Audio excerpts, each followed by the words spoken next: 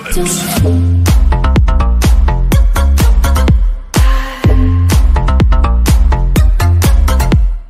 Alright, so the Area 51 raid is happening now. You would think it would be a bloodbath with millions of people running at the place getting shot, but it's actually more of a mother's meeting. Every single company in the world wants to get in on the Area 51 raid and be hip with the kids. I mean everyone. Kool-Aid, Nickelodeon and many more.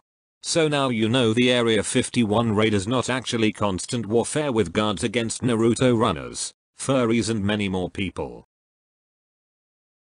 That doesn't mean there aren't aliens there.